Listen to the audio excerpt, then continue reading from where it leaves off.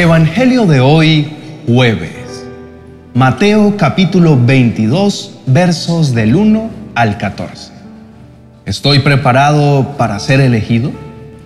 Hoy es un gran día para compartir la palabra del Señor.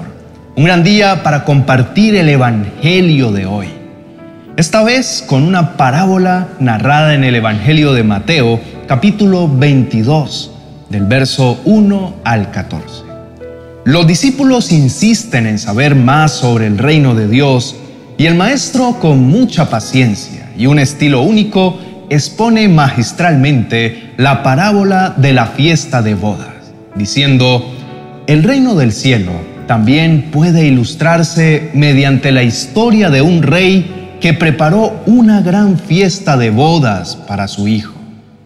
Y para llamar a los invitados, envió a sus siervos mas estos no quisieron asistir.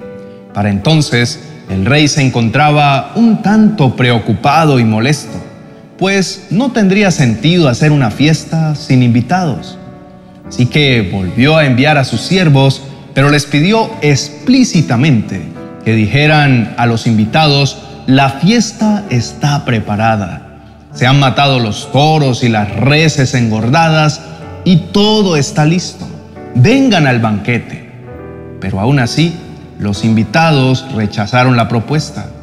Uno porque se fue a su labranza, otro a sus negocios y otros, peor aún, decidieron tomar a los siervos, los confrontaron y los mataron.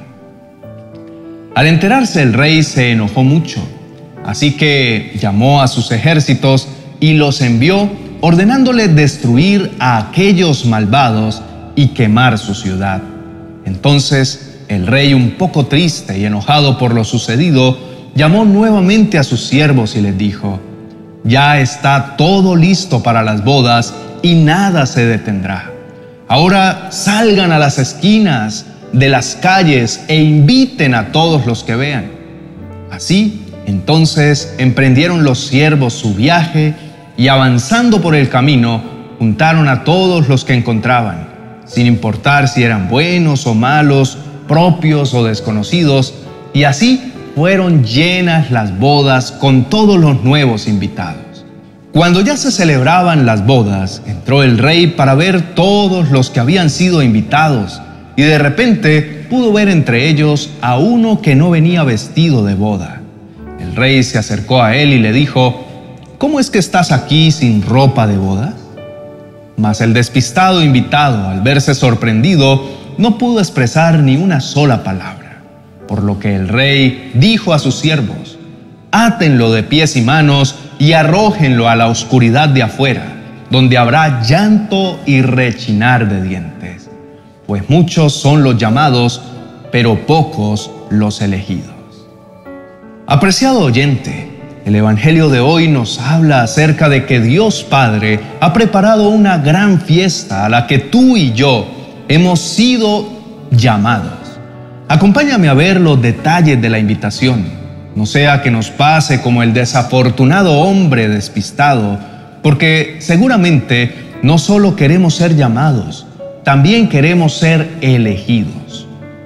Querido hermano, la fiesta ya es un hecho sin duda alguna, nuestro Padre ya tiene preparada una morada en el cielo para nosotros.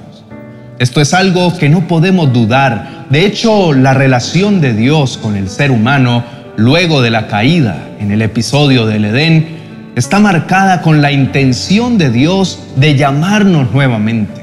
Él quiere recuperar a sus hijos y es Jesús en la cruz precisamente la puerta de entrada para ir al Padre es nuestro amado Maestro la invitación.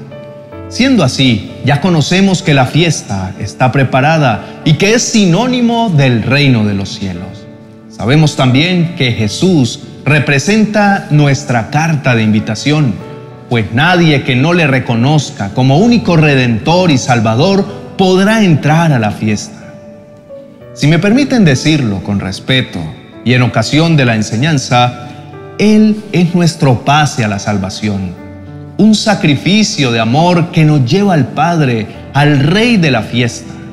Ahora bien, De nada te servirá saber que existe una fiesta y unos invitados si tú no recibes la invitación. Es decir, si no recibes a Jesús de manera sincera y abnegada en tu vida, tampoco tendrás acceso a la gran boda. Apreciado hermano, es preciso decir que la fiesta de bodas ha sido sinónimo de nuestra relación con Dios en muchas ocasiones y que Jesús no solo representa la invitación, el acceso al reino, también representa al esposo de la amada iglesia que somos nosotros. Sin embargo, esta parábola se centra más en las interacciones entre el rey, los siervos y los invitados. Por tanto, terminan siendo los siervos la conexión entre los invitados y el rey. Querido hermano, demos gloria a Dios, porque el Señor se dignó a llamarnos. Aceptemos con gran humildad y gran disposición este llamado, no como quien cree que fue por mérito propio, porque en sí mismo es un ser más especial que los demás. Más bien, como dice la segunda carta de Timoteo, capítulo 1, verso 9, pues Dios nos salvó y nos llamó para vivir una vida santa. No lo hizo por lo que nosotros mereciéramos, sino porque ese era su plan desde antes del comienzo del tiempo para mostrarnos su gracia por medio de Cristo Jesús. Reflexión y oración final.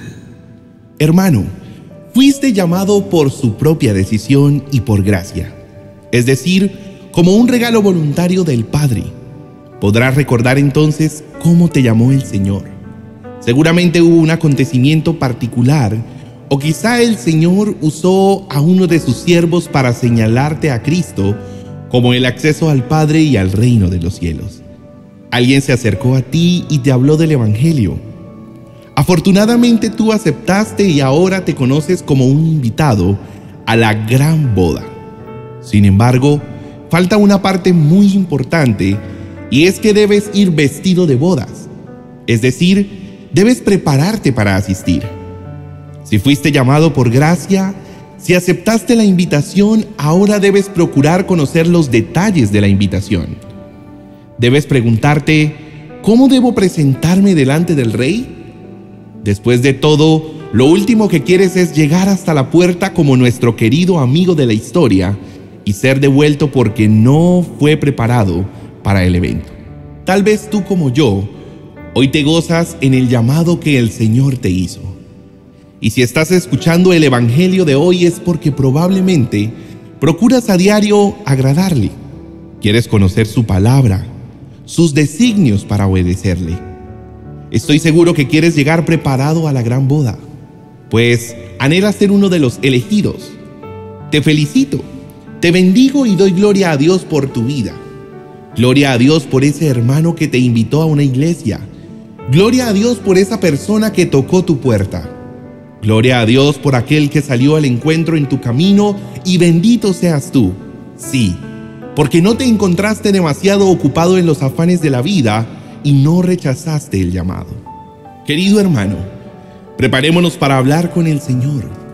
Dispongamos nuestro corazón dejando en las manos de Cristo Jesús todas nuestras cargas y preocupaciones para enfocarnos en lo que realmente importa. Alza tu voz en este día y dile al Señor que anhelas estar preparado para cuando Él venga por ti. Si te sientes cómodo, cierra tus ojos y levanta tus manos como señal de rendición ante el gran Padre Celestial. Oremos. Bendito Padre Celestial, en esta mañana vengo ante ti para decirte que si necesitas un siervo, un mensajero, heme aquí, envíame a mí. Permíteme prepararme y preparar a mi hermano para llegar a tu reino y ser elegidos por ti. En este día te pido que me ayudes a encontrar el tiempo y el espacio adecuado para conocer más tu palabra. Mi anhelo es prepararme para esa gran boda en donde por fin te veré cara a cara. No puedo expresarte lo que siente mi corazón al imaginar ese gran momento, cuando pueda abrazarte y seguir amándote por toda una eternidad. Perdóname, papá, por dejarme contagiar de los afanes de la vida y sin darme cuenta, perder el enfoque de mis prioridades. Hoy reconozco que por encima de mis sueños, de mi trabajo y de mi descanso siempre vas a estar tú, mi gran amor.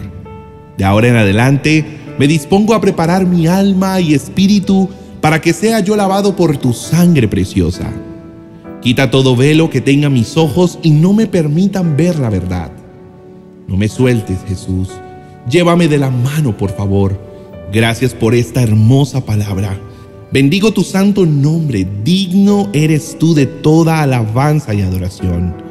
Grande es tu victoria allí en la cruz y espero con gran anhelo tu llegada, mi amado Rey. En el nombre de Jesús, amén. Querido hermano, anhelo de todo corazón que esta palabra haya edificado tu vida. Prepárate para esperar al gran Rey de Reyes, pues viene pronto a estar con nosotros por toda una eternidad. Si este mensaje te gustó, te invito a que escuches el siguiente video que te dejo a continuación. Allí podrás aprender a esperar en Dios y a medida que esperas, tu espíritu se va preparando para el gran día. Recuerda suscribirte y dejarnos un comentario. Te dejo el video en la tarjeta a continuación para que puedas escucharlo. Bendiciones. Estudios han comprobado que una camiseta es uno de los medios más eficaces para hacer público algún mensaje. Por esta razón, hemos decidido lanzar nuestra tienda virtual de camisetas cristianas con el fin de proclamar el Evangelio de una forma clara y directa, plasmando una verdad con una imagen y pocas palabras. Así, en segundos, cualquier persona que vea tu camiseta se habrá llevado un buen mensaje para reflexionar y tú te convertirás en un anuncio ambulante del mensaje de Jesús. Visita nuestra tienda virtual y escoge la que más te guste.